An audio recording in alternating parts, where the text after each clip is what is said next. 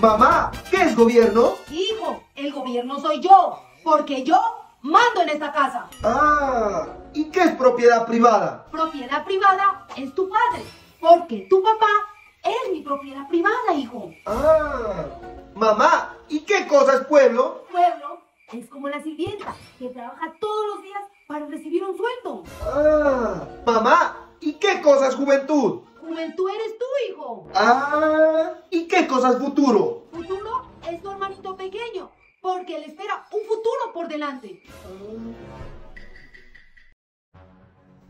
¡Ah! ¡Se cayó mi hermanito! ¡Le voy a avisar a mis padres!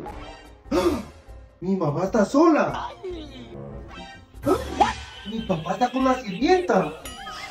¡Qué bonito! Mientras el gobierno está durmiendo, la propiedad privada se come al pueblo, la juventud está confundida y el futuro está por el suelo.